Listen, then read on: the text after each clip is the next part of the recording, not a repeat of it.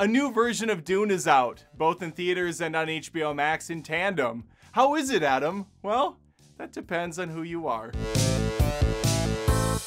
Oh, before I grab a bucket and shovel and really start to dig into this adventure, I should ask you to subscribe to the channel. I do a lot of movie related content here. I think you should stick around. It's worth your time.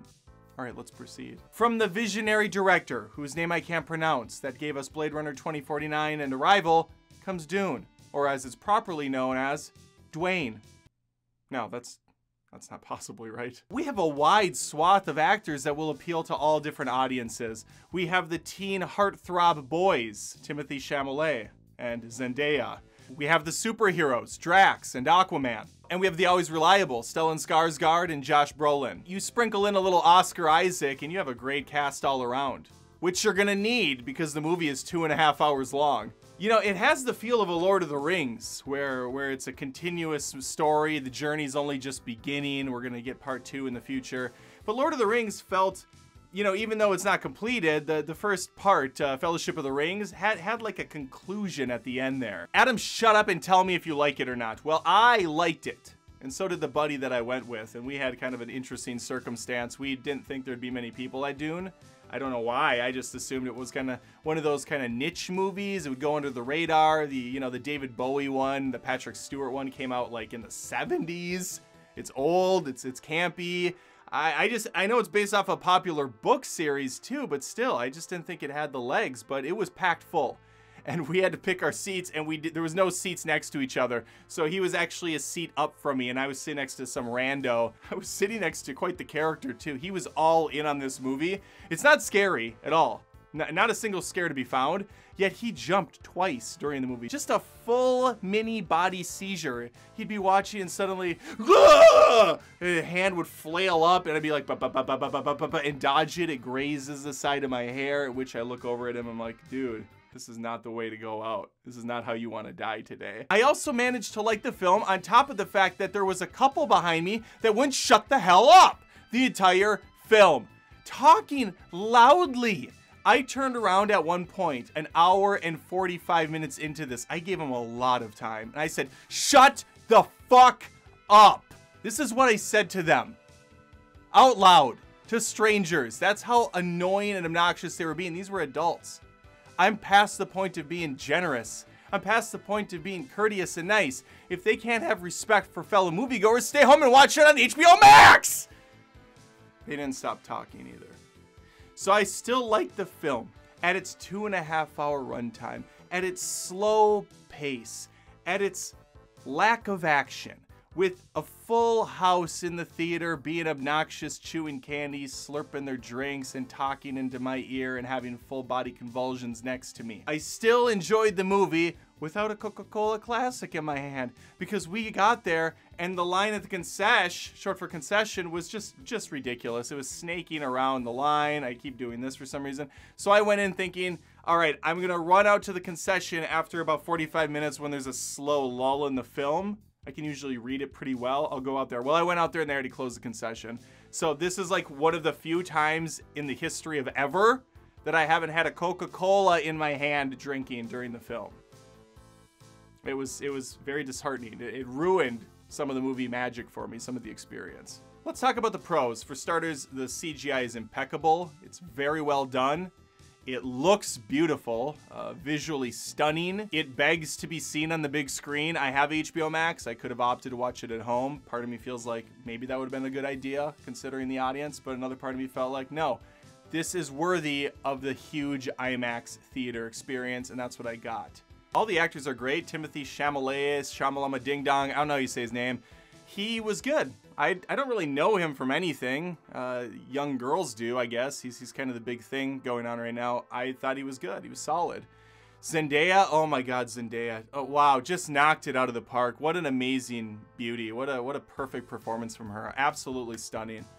No, she's barely in it. I, I, people are praising her performance. She doesn't do shit. She's, she's barely in it. And, and when she's there, it's, it's pretty monotone.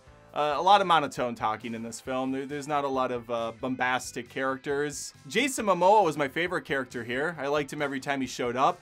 A little weird seeing him without a beard. That, that was kind of off-putting. Momoa, to me, he loses about 50% of his attractiveness without that beard. He's he's the equivalent of the Beast from Beauty and the Beast when he turns back into Prince Adam, which is my name. And I wish I could marry Belle, but different world, different time. And she's a cartoon character. When he doesn't have the shaggy coat, he loses some of that animalistic, raw, uh, sexual uh, minutia to use words that might not make sense. I forgot Javier Bardem is in this. Rebecca Ferguson, my beautiful Rebecca Ferguson. She does thankfully have a good amount of screen time. I always love her. She's just such a treat. The, the, the movie was, was solid, but I am saying this as someone who really likes sci-fi films. I like bizarre shit, and there's weird stuff going on in this. Not a lot of action though, as I said. So that's going to turn some people off when you have to sit there for, you know, almost three hours. There's a ton of world building. I assume if you've read the book, a lot of this will be very easy to follow for someone like me. Uh, you know, they're throwing out all these different terms, all these different planets. There's aliens, there's people amongst each other. So you're, you're trying to kind of like piece it together. But when it's all said and done, it's really not that complicated of a story. It's just the way it's presented almost makes it more so. Uh, it, it's pretty kind of simple though. Spice is the that's the hot commodity. Everybody wants spice. You're gonna hear that word a lot. If you saw the original film, they're like spice. They kind of whisper it in a really weird way. It's kind of silly. It, it comes off better here. As a mere mortal myself, I can't possibly comprehend all the different things that the spice has to offer. I know that it's rare though, and people want to mine it. So there's different factions that want this for themselves, to make themselves wealthy, to enrich their communities and you know you have opposing forces. It's got the whole Star Wars playbook. I'm pretty sure Dune is older than Star Wars. If not, uh, you can drag me in the comments, but it very much has the white savior thing going on that I know Hollywood and, and, and, some people are really rolling their eyes at lately. The whispers of a young man who will return balance and save things and yada yada yada.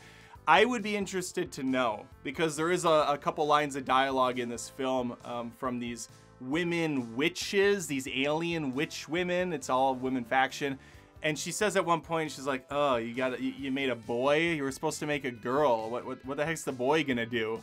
The girls are way better." I'd love to know if that was in the book or if that was the writer like kind of projecting, thinking, "Yeah, we know this is a, a trope. This whole movie has been played out with the whole white knight saves the day." So let's throw on this couple lines of dialogue about how women rule too. I'd really love to know if that was in the book. I feel like that was tacked on. This movie felt like something that Zack Snyder would look at and say, I've been trying to do this with the DCEU but never could because I was handcuffed. This is a film that Zack Snyder dreams of making. It's got the eclectic music in the background. It's a very hard, heavy music at the end. The constant chanting was a little overwhelming. It was a bit much for me uh, Snyder would be just creaming listening to that.